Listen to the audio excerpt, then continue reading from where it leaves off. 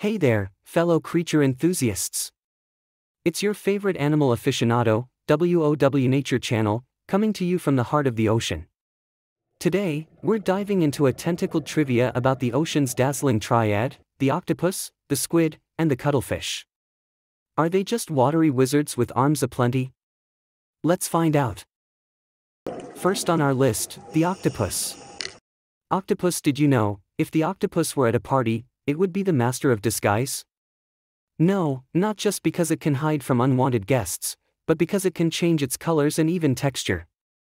Yep, this soft bodied genius doesn't have a single bone, letting it escape through the tiniest escape routes. Talk about a party trick.